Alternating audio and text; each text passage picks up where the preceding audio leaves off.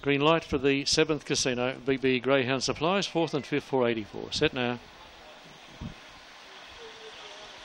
Here Japper, Jackie Flashstorm began well and so to it. What on the track going fast was Steve's Jewel. It's pretty rugged to the first turner. We're, we're going to the lead on the inside. Mere Japper. Now Steve's Jewel gets away. Indulgence runs the second, followed by Jackie Flashstorm. Getting forward quickly now. Would have been Spanish Queen. Him the Masters a long way back. So to off the track going forward then would have been in the centre of the track. Tijuana Tempo and at the tail now was Boo Fighters. But on the turn, this one is nicely clear and that is Steve's Jewel's in front. Will come away and beat Indulgence third, probably Mere Japper in front of Jackie Flashstorm, followed then by T- Spanish Queen. Long way back was him the master, Tijuana Tempo and Boo Fighters.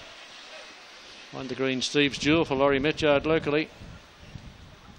Round five even and 140 and white and black bits by Cosmic Rumble Hope Diamond. And drive toned there by Laurie. Round the 28.5 mark and track 28.53. Second number seven Indulgence 180. Third Mere Japper 226, 7 and 1. They finished that event. They ran home in 15.50. So 16 or 15, uh, 12.53 will be a middle split. 12.53, 15.50 the run home. One and a quarter by seven, the margins there. One and a quarter by seven. Run home 15.50, 28.53 the overall, 28.53.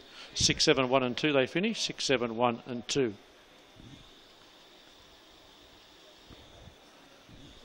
All clear casino.